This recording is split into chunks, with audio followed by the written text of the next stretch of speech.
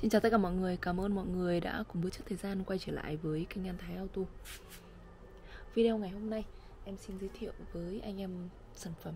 Đó chính là bộ comba lên xuống kính điền motor điện của xe Đông Ben 7 tạ rưỡi đến 8 tạ rưỡi anh em nhé.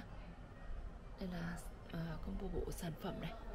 À, uh, Combo bộ sản phẩm thì uh, sẽ bao gồm là uh, một comba lên xuống kính bên lái một comba lên xuống kính bên phải và một uh, dây điện liền với cầu trì này Đó.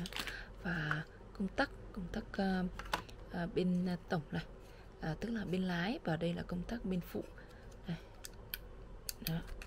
và các cái con uh, ốp vít để chúng ta sẽ bắt vào uh, chỗ cánh cửa đó uh, thì à, cái cấu tạo của sản phẩm thì cái khung và cái cái cái khung của cái comba này thì nó sẽ được thiết kế bằng thép cao cấp tổng hợp anh em nhé. Đây đây chính là những cái bánh răng này.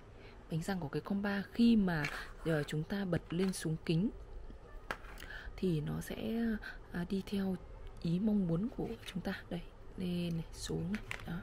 Đây chính là cái, những cái bánh răng của cái à, motor. Đó. Đây chính là motor điện này. Đó. Đây là cái rãnh à, như chúng ta hay gọi là rãnh xoắn này. Đây chính là cái khung để chúng ta sẽ bắt vào cái cánh cửa.